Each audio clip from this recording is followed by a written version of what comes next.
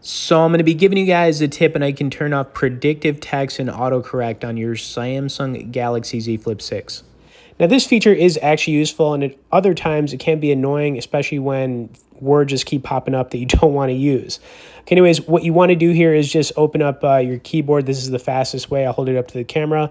You're going to see a little settings button right here. So you just want to tap on that. And then when you go in here, you are going to see that there's going to be a uh, predictive text option. And there's actually two options for it for your actual phone when you open it and then on your lock screen. So you could just turn those off if you want. Then if you scroll down a little bit, you're going to see there's some auto replace and suggest text corrections. You could turn those off as well. You've also got suggest emojis which is a little bit weird, but I guess that's a thing. Um, I didn't know that was a thing, but I guess it is.